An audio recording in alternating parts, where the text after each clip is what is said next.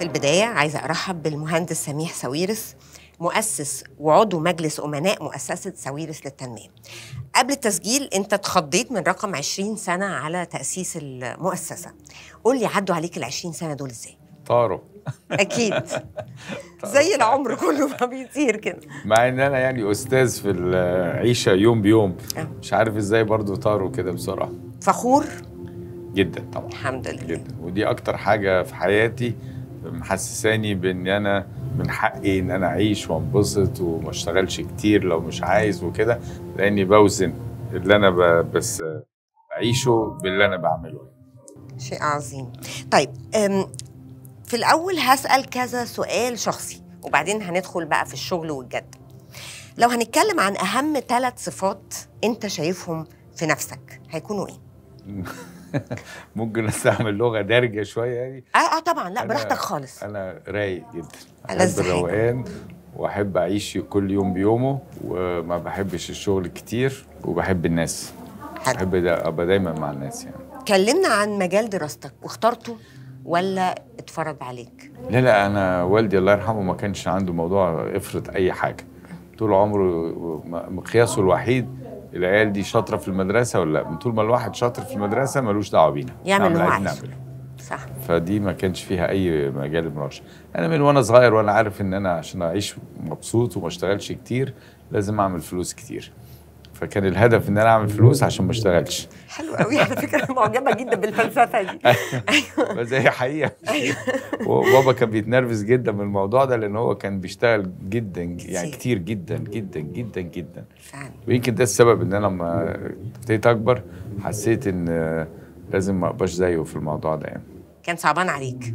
كان بيصعب عليا لأن هو كان كل حياته شغل وكل حياته إنجاز عشان ولاده.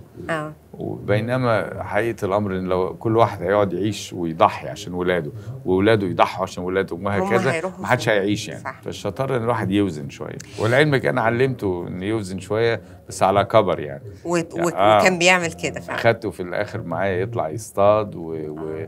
وهو شاف إن أنا رغم إن أنا ما بشتغلش كتير زيهم زي نجيب ونصف وهو أيوة. إن ما زلت يعني عرفت أوصل لقدر من النجاح مش زيهم بس قدر من النجاح كافي. قدرت تحقق حاجات هو كان فخور بيها جدا فكان بالظبط. فبالتالي هو ابتدى يقتنع إن ممكن الواحد يعيش وينبسط ويشتغل مش بس شغل شغل يعني. صح. وقت ما كنت بتختار مجال دراستك كنت راسم ومخطط آه، وشايف طريقك لقدام هتوصل لفين؟ عندك طبعاً. هدف. آه، من وأنا صغير وأنا عندي حاجة اسمها باكيت ليست يعني إيه أهدافك في الحياة؟ وأقعد أرصهم كده ورا بعض ولازم أحققهم واحد ورا التاني. وكان أول هدف طبعا إن أنا لازم يبقى معايا فلوس زي ما قلت لك. فكان أحسن حاجة للموضوع ده إن أنا أدرس الهندسة وأدرس الاقتصاد. لأن الاقتصاد هو الفلوس والهندسة هي الأداة اللي بالنسبة لي أنا كانت هتساعدني إن أنا أوصل لكده يعني. وقدرت تحقق قد إيه من الباكت ليست أنا خلصتها. الحمد لله. بس لا لا لا أنت بتقولي الحمد لله. أنا عايز أقول لك أنا لما خلصت جالي اكتئاب. فعلا؟ آه آه لأن أنا حسيت إن طب أنا خلصت كل حاجة وأنا قاعد ليه؟ أتكل على الله. لا لا تتبسط. قاعد تتبسط. لا ما أنا طول عمري ما انبسط بس هو ال ال الأهداف بتدي الواحد دفعة في الحياة وتخليه ينبسط بباقي الحياة. ومفيش أهداف جديدة قعدت دلوقتي بقى أدور لحد ما لقيت هدف جديد وأنا شغال عليه جامد بقالي ست سنين. إيه هو؟ أنا من ولا حاجة اتعلمت ألعب البيانو وإن شاء الله في يناير الجاي هدي كونشيرتو مع أوركسترا في يعني قصاد جمهور. إيه ده ده حاجة دي أنا بالنسبة لي معلومة جديدة خالص. آه. شيء عظيم فعلا. إيه أكتر مشروع اشتغلت عليه وبتفتخر بالإنجاز اللي حققته فيه؟ لا ما كلهم زي زي ما يكون مثلا حد يسألك آه، آه، مين أكتر حد من عيالك أنت. بتفتخر بيه. كلهم آه، يعني مشروعات بالنسبة لي قريبين مني وكلهم عدى عليهم سنين كتيرة. إنما طبعا البداية في يعني البداية كانت الجونة يعني. أكتر مشروع بفتخر بيه فعلا هو بتاع سويسرا. لأن إن الواحد يروح في بلد غريبة. وهو يعني راح يقول لهم هيعمل كذا كذا وهم مش مقتنعين بيه خالص. ومش عارفين. ومش عارفين ومش صحيح. عارف إيه ده كان يعني challenge أكبر challenge خدته في حياتي هو مشروع سويسرا. طيب بتختار الناس اللي بيشتغلوا معاك على أي أساس؟ أول حاجة ما يبقاش كشري ونكدي. و- أعوذ بالله. آه دولت بالنسبة لي حتى لو أذكياء ما بحبهمش. وبعدين إنه يكون يقدر يتكلم معايا كأني زيه. مش إن هو بيشتغل عندي أيوه. دي مهمة جدا. لأن شخصية. الناس اللي هي بتقعد بقى تدور هو عايز يسمع إيه ولا هقول له إيه ولا ما أقدرش أقول له إيه دولت مش مفيدين ليا. فأنا بفضل الناس اللي هي عندها ثقة في نفسها بدرجة إن هو ممكن يقول لا أنت غلطان يعني الناس اللي اللي they challenge you يعني أو يقولوا لك حتى لو ما يعني. سمعتش كلامه يعني آه، في النهاية أنا. اللي هاخد أيوة بس. على الأقل يبقى عندي ناس بتديني آه وجهة نظر أخرى ومش مكسوف أو مش متضايق أو مش هايب. إن هو يقول لي إن أنا غلطان. لأنه خايف على مصلحة الشغل. بالظبط. okay. وعنده قناعة إن أنا عايز أسمع الحقيقة مش عايز أسمع برافو سميح أو لازم كل واحد يتكلم ويبقى حر وهو في- بيتكلم وما يبقاش باصص إن أنا هبقى مبسوط من اللي بيقوله ولا لأ. إيه أكتر آه، قيمة اتعلمتها في شغلك؟ إن النجاح منظومة بت- بتعوز إن كل الناس اللي معاك في هذه المنظومة يكونوا عايشين كويس ومبسوطين وبيحبوا الشغل. يعني أنا. عفريتي إن يكون حد عندي في الشركة قاعد عشان المرتب. اللي في ما حاجة على بيحبش. الشغل دوت ما بحبوش. يعني صح. طيب إيه أهم المبادرات أو المشروعات اللي اللي بتركز عليها حاليا؟ إحنا عارفين إن أنت خلصت ال bucket list وإن أنت مركز في البيانو وكل حاجة بس هل في أي مشروع مركز فيه أكتر حاجة دلوقتي؟ كشغل يعني؟ لا ما أنا عمري ما كنت بركز على الشغل يعني. دايما ده إيه اللذاذة دي؟ على فكرة بجد. لا لا بجد آه. ده- بس أنا يعني بحس إن الحياة عبارة عن آه، مجموعة من الحاجات اللي الواحد بيحبها. أنا بحب المزيكا بحب الفن بحب السفر بحب الصحراء بحب البحر بحب الصيد بحب الشغل. فما ينفعش إن بحب الواحد الحياة. يركز يعني. بحب الخروج بحب الحياة.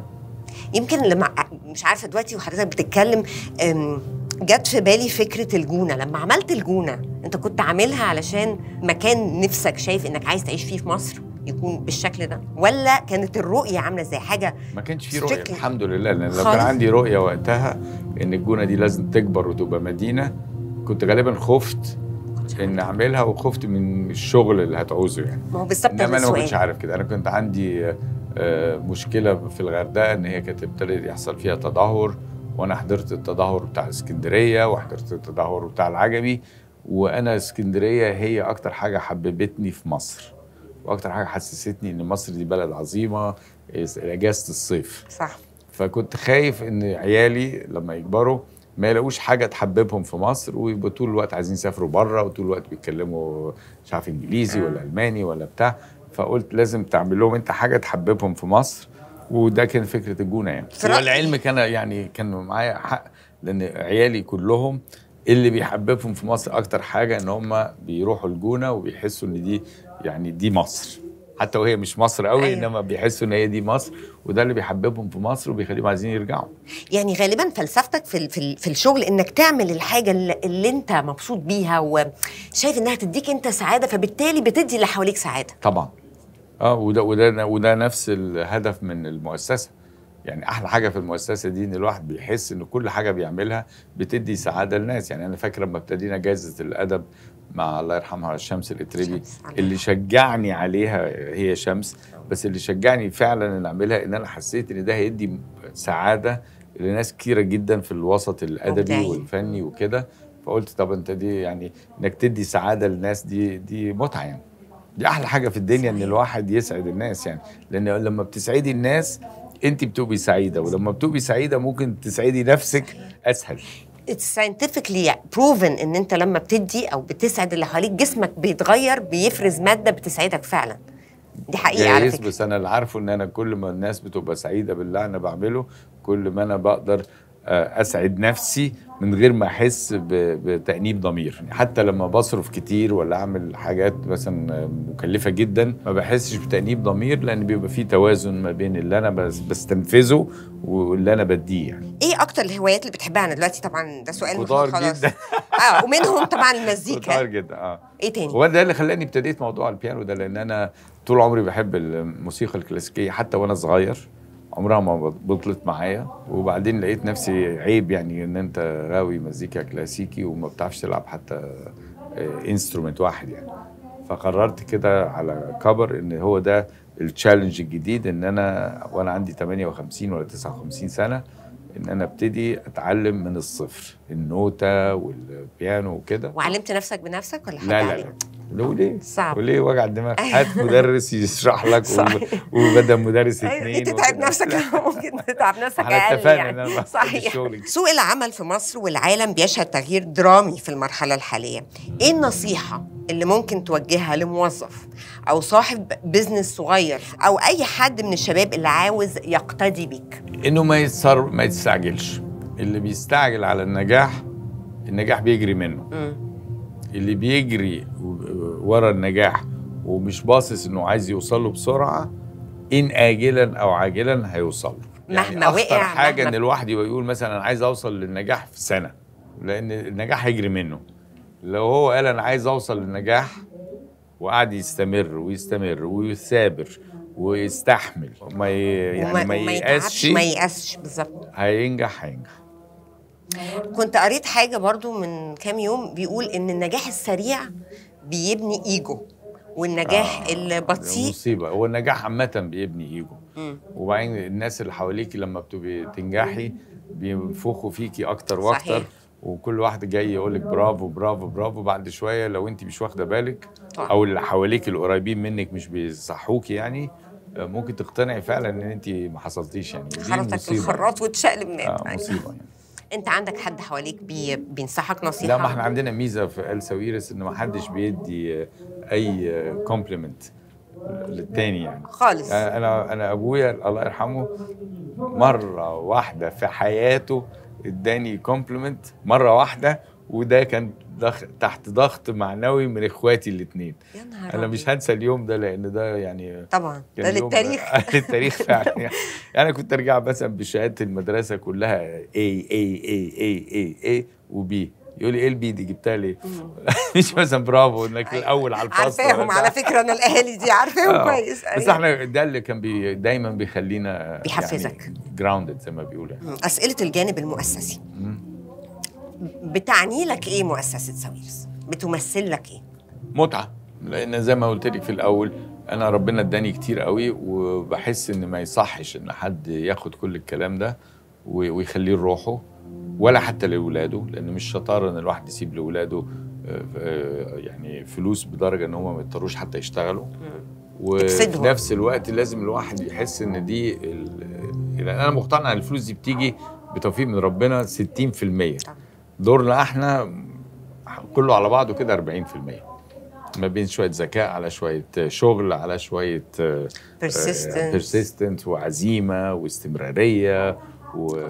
وجراءة فلا كل دول مع بعض 40% إذا لو ربنا مش رايد لحد وما ادالوش حظ خالص والله في سماء مهما. عملتي مش هت مش صحيح. هت- لو ربنا مش صارف لك اذا ال 60% اللي جابوا لك كل ده مش بتوعك يبقى لازم ترجعي شوية ده دي قناعة عندنا من زمان وطبعا اللي, اللي, وصلنا لكده والدتي لأن ماما من وإحنا صغيرين أنا فاكر كويس قوي ما يعني كانت تاخدنا في ال في الوراق في ال في ال يعني في العشوائيات بتاعت الوراق وتقول لنا يعني قبل ما نروح جاي كريسماس وفي هدايا بابا نويل وبتاع دواليبكم مليانة كله ده مش هيخش هدايا جديدة غير أما تدوا ال- الحاجات اللي فيها قبل ما حاجة تدخل. حاجة تطلع صح؟ فكنا نروح الوراق دي وناخد طبعا معانا أوحش لاعب لأننا عايزين نخلي اللعب كل اللعب صح. فناخد لهم الحاجات الوحشة دي ونبص العيال دي مبسوطة إزاي وعايشين إزاي في فقر. فده يعني ربنا من هي ربتنا من وإحنا صغيرين جدا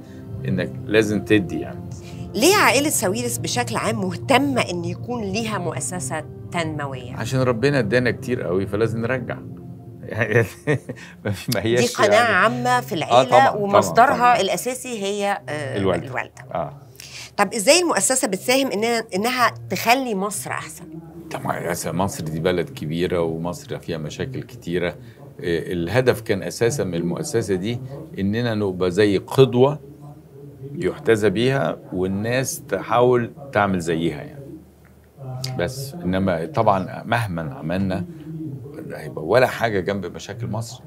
مصر فيها 100 مليون عايشين في مصر غير العشرة اللي عايشين بره مهما كنا يعني ما احناش مليون حصان يعني. طب سؤال بس بنحاول ونعمل توازن ما بين اللي جالنا واللي بنرجعه وخلاص.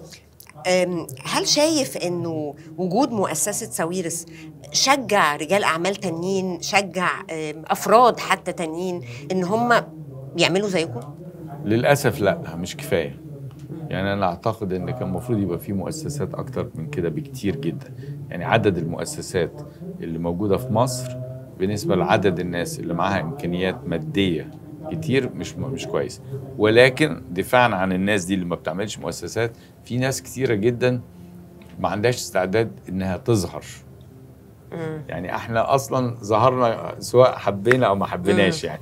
ماشي جونة ده موبينيل بتاع. فكان صعب إننا نستخبى كده ولا كده. فبالتالي ما كانش مشكلة إننا نعمل مؤسسة ويبقى اسمها حتى مؤسسة ساويرس وكده. في ناس كتيرة بتعمل خير كتير بس سكيتي ولكن أنا في رأيي إن المؤسسات هي اللي ليها مستقبل واستمرارية وكده. يعني شوفي ال Ford Foundation مثلا داخلين النهارده على 100 سنة. وما زالت موجودة وبتدي وكده وفي مؤسسات في العالم كتيرة جدا جدا. فيعني يا ريت ناس أكتر تبتدي ما, ما, تخافش من, من الظهور. آه. وتعمل مؤسسات آه، تقعد بقى العمر كله يعني. أمريكا دي عايشة على المؤسسات. أكيد. يعني ما بيدوش كفاية والناس كتيرة عند- عندها مشاكل. وممكن يصحى الصبح يلاقي نفسه ما عندوش شغل و... ويروح على بيته وكده. لولا وجود مؤسسات اجتماعية كتيرة جدا كانت أمريكا دي ما وقفتش على رجليها كده يعني. وبالرغم من كده في فقر كتير قوي كمان هنا. ده ما هي الرأسمالية الزيادة عن اللزوم دي مش كويسة. عشان كده الموديل بتاع أوروبا ده أحسن شوية. هنرجع تاني للجونة وهي أحد أبرز مشروعاتك. حصد من قبل جائزة الأمم المتحدة كأفضل مدينة تراعي البيئة على مستوى العالم. هل نقدر نحلم إننا نشوف مصر كلها كده؟ ومن وجهة نظرك إزاي ممكن نحقق ده؟ لا صعب. صعب ومش لازم. إحنا دولة نامية وعندنا مشاكل كتيرة جدا ومش دي الأولوية. الأولوية إن الناس تعلم ولادها الأولوية إن الناس توكل ولادها ويطلعوا أصحاء. وكده. أهم من البيئة لأن البيئة ده آه، طرف المفروض يدفع ثمنه الغني مش الفقير. فما ينفعش إن أوروبا وأمريكا يقولوا لنا لازم تخلوا بالكم البيئة 100% و- و- وهم دمروا كل الغابات بتاعتهم وعايشين بيحرقوا آه، ثاني أكسيد كربون أكتر من مصر مثلا 100 مرة فهم اللي يدفعوا الفاتورة. مش كده أنا بحب قوي الراجل المجنون ده بتاع البرازيل اللي قال لهم الأمازون بيتحرق ماشي اللي عايز يجي يخلي باله منه يجي. اتفضل. اتفضل. يورينا آه، شطارته إنما إحنا بالنسبة لنا الجونه لأن إحنا عندنا إمكانيات مادية غير مسموح ليا أنا كسميح يعني إن أنا ما أهتمش بموضوع البيئة. لأن بدام ربنا اداني برضه أنا مسؤول عن. البيئه بالظبط طيب الصورة العامة عن الجونة إنها مدينة سياحية لكن لما بنشوف. التفاصيل آه هنلاقي إن في أنا آه أنا بزعل قوي من المدينة أيوة السياحيه دي على. فكرة هنلاقي إن في اهتمام كبير بالمؤسسات التعليمية والأنشطة الفنية والثقافية طبعا ونقدر نعرف إن- أو عايزين نعرف إزاي بيتحقق ده كمان إزاي المواطن البسيط ممكن يستفيد من الخدمات والمبادرات والمؤسسات التعليمية الموجودة في الجونة؟ طب ما انت لو رحتي في الجونة في حي اسمه البستان اللي هو بي- بيعيش فيه أكتر الناس أكتر عدد من الناس من المقيمين المستديمين في الجونة وده فيه كل حاجة. في المدرسة وفي. المدرسة الثانية والمدرسة الثالثه والمدرسة الرابعة. والنادي والمحلات والملعب بتاع الكورة كذا ملعب كورة والسينما و و و. فدي مدينة جوه الجو يعني دي جزء من مدينة الجونة آه، بيعيش فيه الناس اللي عايشين هناك بصفة مستديمة.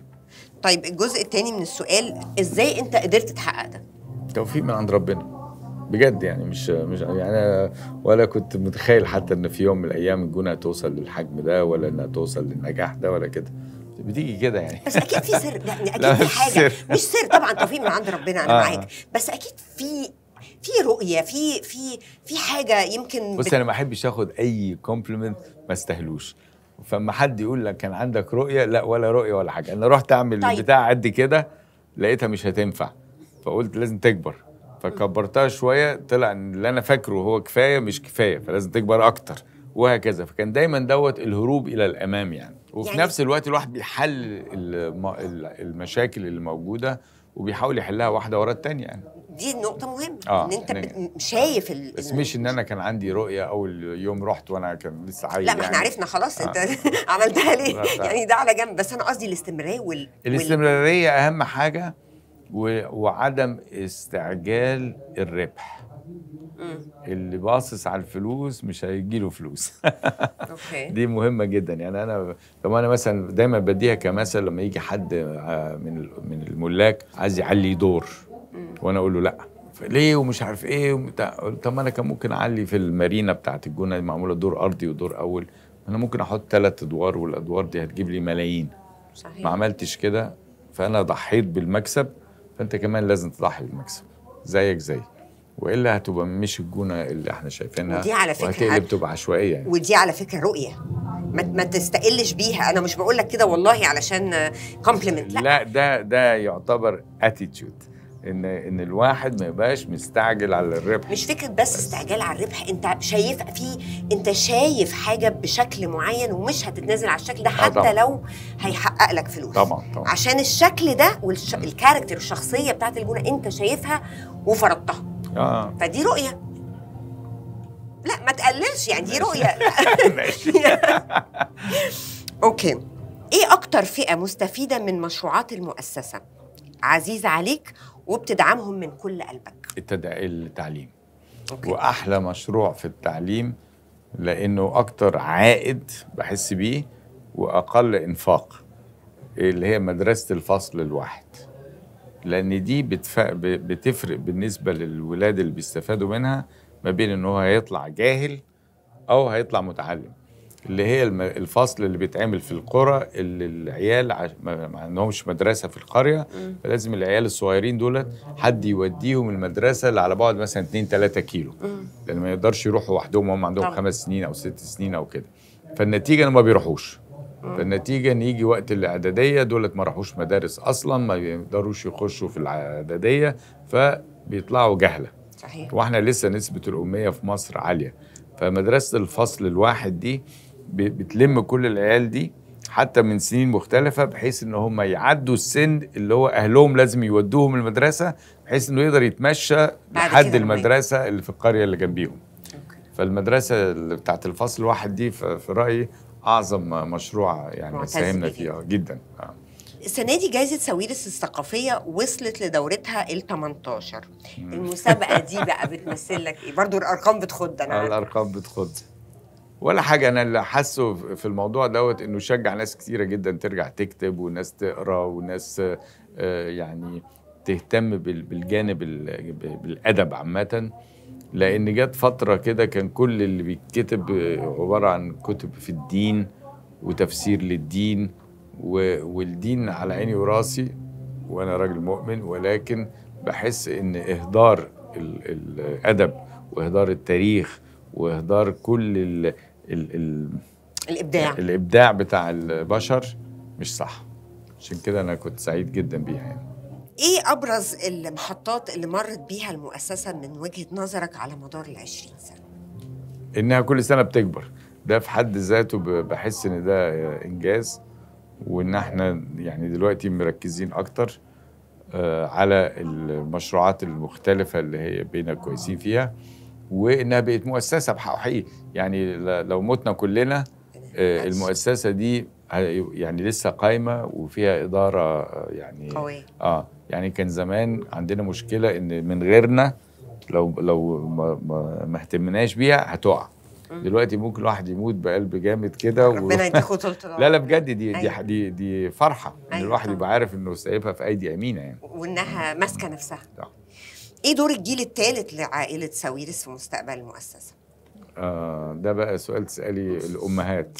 لأن لا بجد. لا لا بتكلم جد طب ما هي زي ما ماما هي اللي خلتنا كده أهو. بس أنت بتشوف يعني بتشوف الولاد بيت... بيتصرفوا إزاي؟ لسه يعني محتاجين زقتين في الموضوع ده. بس هم لسه صغيرين وحتى وإحنا صغيرين كنا بندي ونعمل ومش عارف إحنا عندنا حاجة يعني اسمها مش العشور مركزين. بس ما كناش مركزين. أعتقد مع الوقت ومع النجاح هيبتدوا يبقوا برضه آه، يحسوا بالمؤسسة دي أكتر يعني. بس هيحصل. هم طول ما هم شاي... مو- موجودين في بيت وشايفين الأهل بيتصرفوا إزاي هم هم- شايفين كمان إن يعني أنا مثلا ك- كمثال ما هم شافوا إن بابا ما اداهمش كل حاجة و- وإدى المؤسسة. فهم بطبيعة الحال هيعملوا نفس الحكاية. ودايما كده العيال بتطلع لأهاليها. لأهاليهم. من غير وعظ يعني مش محتاج تقعد توعظهم هم بيشوفوك. بتعمل إيه؟ صح، بيمشوا على خطاك لما بيكبروا. لوحدهم. آخر حاجة وآخر سؤال أو مش سؤال هي كلمة ختامية تحب توجهها آه للعاملين في المؤسسة وللمستفيدين من خدماتها. يعني أنا للعاملين طبعا ربنا يوفقكم في الخير اللي بتعملوه وربنا يديكم كمان المتعة نفسها إن أنتوا تبقوا عارفين اللي أنتوا بتعملوه ده بيعود بخير على الناس. أما المستفيدين بقول ربنا يعني يديهم قد ما هم خدوا إنه يرجعوا للناس زي ما هم خدوا. بشكرك جدا. استمتعت بجد بالحوار معاك جدا جدا جدا. حقيقي كان حوار ممتع. زي ما أنت كده مستمتع بكل حاجة بتعملها. أنا انعكس عليا المتعة دي. ميرسي قوي بشكرك.